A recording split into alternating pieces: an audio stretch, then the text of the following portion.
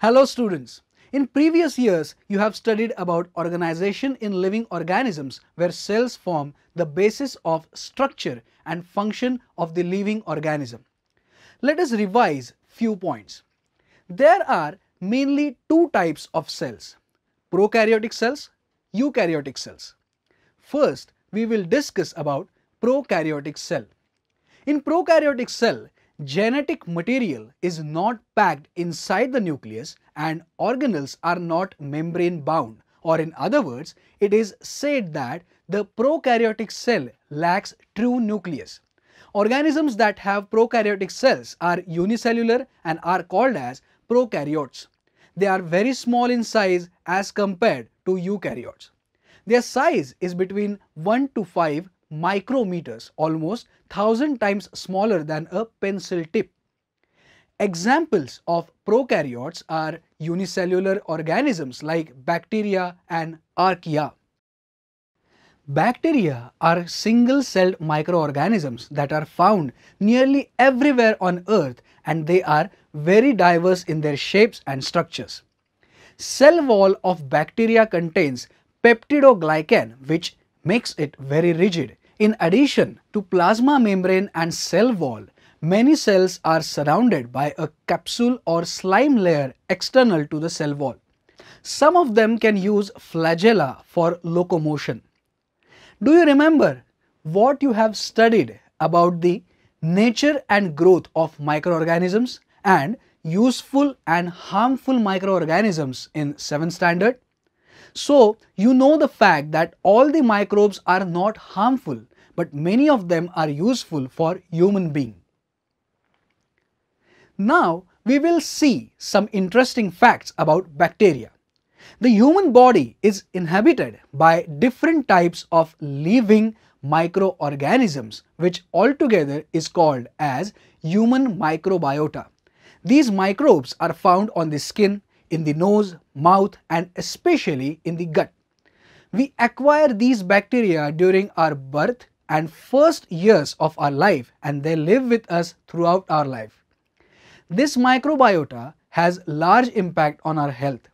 From the recent research in this field, scientists have found that there are about 3.8 ideally round it to 4.0 into 10 raised to 13 that is around 38 trillions of bacteria present in a person with the average weight of 70 kg where the number of human cells constituting his body are 3.0 into 10 raised to 13 that is around 30 trillions.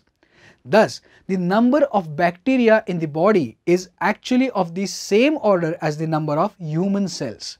Another example of prokaryotes is archaea. Archaea are similar in size and shape to bacteria and they are also unicellular.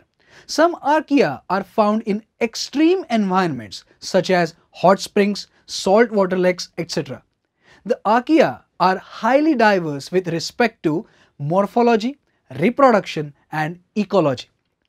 Archaea can have a cell wall and flagella. However, the structure of these organelles is different.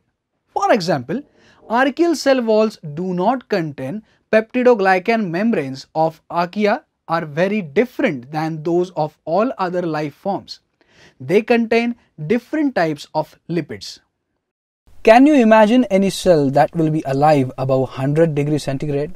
We think that upper temperature limit for life is about 100 degrees centigrade, the boiling point of water. But actually, some prokaryotes have been reported growing in sulfide chimneys located along rifts and ridges on the ocean floor.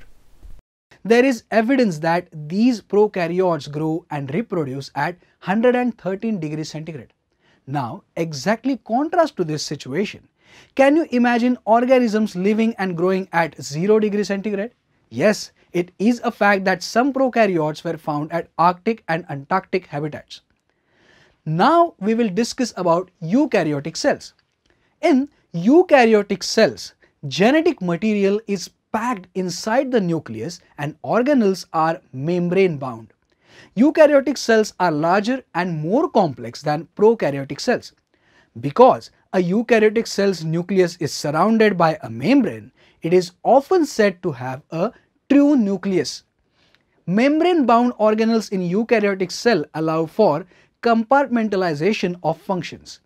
You can relate it with your well-organized drawer or cupboard which has separate sections for different things like clothes, jewelry, bags, etc. and they are separated by wall of apply. Thus, each section or compartment is serving separate function.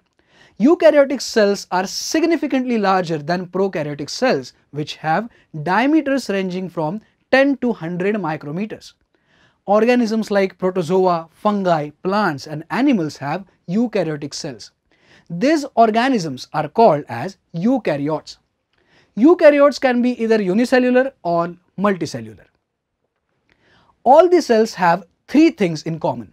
DNA, which is the genetic material of the cell, cytoplasm, which is semi-solid fluid containing various cell organelles, cell membrane, which separates inner components of the cell from outer environment. Cells are very minute in size which cannot be seen with naked eyes. The compound microscope is used for observation of these cells. Summary There are mainly two types of cells, prokaryotic cells, eukaryotic cells. Organisms that have prokaryotic cells are unicellular and are called as prokaryotes. All the microbes are not harmful but many of them are useful for human being. Another example of prokaryotes is archaea. Archaea are similar in size and shape to bacteria and they are also unicellular. In eukaryotic cells, genetic material is packed inside the nucleus and organelles are membrane bound.